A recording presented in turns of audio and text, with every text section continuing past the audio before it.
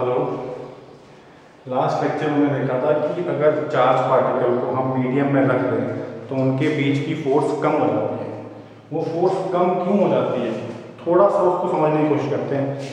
तो देखो, हमें सबसे पहले पढ़ना पड़ेगा इसके अंदर थोड़ा मटेरियल के बारे में। मटेरियल किस टाइप के होते हैं, कैसे बिहेव करते हैं।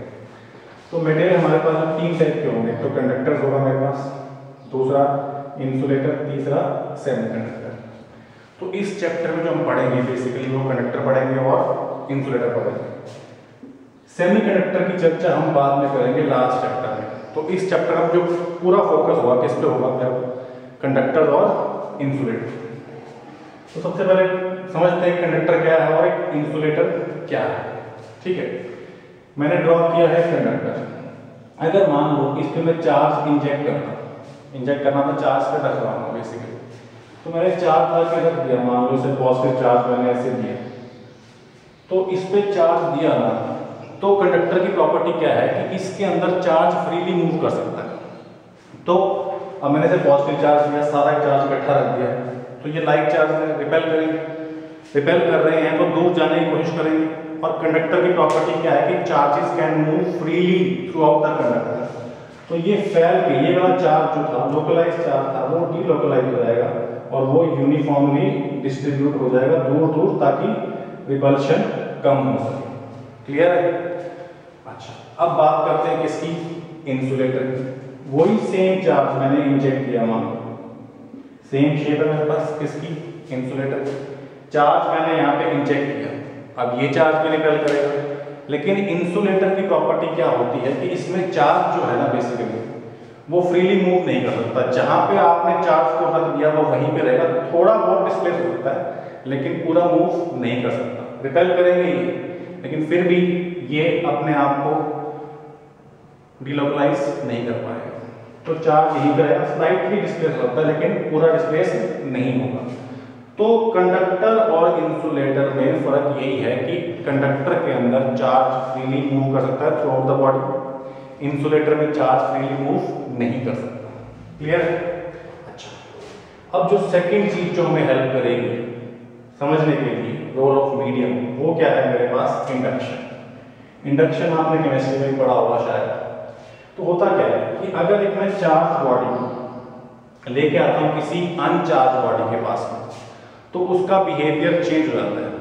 उस बिहेवियर में चेंज आ रहा है, उस प्रोसेस को बोलते हैं हम लोग इंडक्शन तो इंडक्शन हम पढ़ेंगे किस पे? मेटल्स पे, यानी कंडक्टर पे। और किस पे पढ़ेंगे हम लोग? इंसुलेटर पे। तो वन बाय वन देखते हैं दोनों का बिहेवियर कैसे चेंज होता है चार्ज की प्रेजेंस में।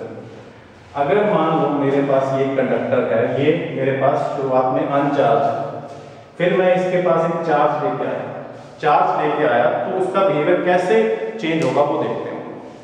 आप सब लोग जानते हो कि कंडक्टर यानी मेटल मेटल में बहुत सारे फ्री इलेक्ट्रॉन जैसे ही पॉजिटिव चार्ज मैं इसके पास लेके आया तो इलेक्ट्रॉन अट्रैक्ट होंगे इलेक्ट्रॉन अट्रैक्ट होंगे और वो फ्री टू मूव है तो इलेक्ट्रॉन इस पोर्शन से इधर रश करेंगे बिकॉज़ ऑफ़ अट्रैक्शन तो इलेक्ट्रॉन इस पोर्शन से इधर जंप कर रहे हैं तो इधर डेफिशिएंसी ऑफ़ इलेक्ट्रॉन और इधर एक्सेस ऑफ़ इलेक्ट्रॉन तो इधर चार्ज कैसा आएगा मेरे पास? नेगेटिव और यहाँ पे बिकॉज़ ऑफ़ डेफिशिएंसी तो यहाँ पे क्या आ जाएगा मेरे पास? पॉजिटिव चार्ज तो एक अनचार्ज कंडक्टर को मैंने पास में लेके आया चार्ज बॉडी तो उसके कारण एक temporary shift temporary shift of charges हो गया। इलेक्ट्रॉन पॉजिटिव की तरफ़ आ गए और पॉजिटिव चार्ज से दूर चला गया बिकॉज़ ऑफ़ रिपल्शन अगर मैं इस चार्ज को रिमूव कर दूँ तो फिर से ये वापस से नॉर्मल स्टेट में आ जाएगा। तो ये तो बिहेवियर है किसका?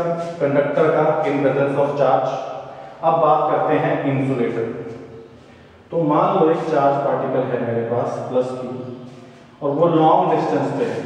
बहुत दूर है किससे? एक इंसुलेटर से। ये मैं एटम दिखा रहा हूँ आपको। उसका ये इलेक्ट्रॉन क्लाउड दिखाया ठीक है? अभी चार्ज दूर है तो अट्रैक्टिव फोर्स नहीं है। तो अभी जो इसका इलेक्ट्रॉन क्लाउड है, वो कैसा है? सिमेट्रिकल है। जैसे ही मैं इस चार्ज पार्टिकल को पास लेके आऊँगा तो बिकॉज़ ऑफ़ अट्रैक्शन पास जाऊँगा तो अट्रैक्शन बढ़ेगी इलेक्ट्रॉन अट्रैक्ट होंगे किसकी तरफ़? पॉजिटिव चार्ज तरफ़। तो ये जो इलेक्ट्रॉन क्लाउड है, वो शिफ्ट हो जाएगा किस तरफ़? पॉजिटिव चार्ज की तरफ़। तो अब जो ये इलेक्ट्रॉन क्लाउड होगा, वो अनसिमेट्रिक होगा। तो नेगेटिव सेंटर इसका इस तरफ़ शिफ्ट हो जाएगा, इस एटम का और पॉजिटिव सेंटर क्योंकि इस तरफ़ इलेक्ट्रॉन क्लाउड ज़्यादा है, इस तरफ़ इलेक्ट्रॉन क्लाउड कम है। तो ये किसमें कन्वर्ट हो जाएगा? एक इलेक्ट्रिक डाइपोल में कन्वर्ट हो जाएगा। क्लियर है? तो कंडक्टर कैसे बिहेव करता है? In presence of charge insulator कैसे बिहेव करता है? इन प्रेजेंस चार्ज वो देख लिया हम लोगों ने। अब थोड़ा एग्जांपल लेते हैं एक्सटेंडेड बॉडी के लिए। ये बात की मैंने एक एटम की।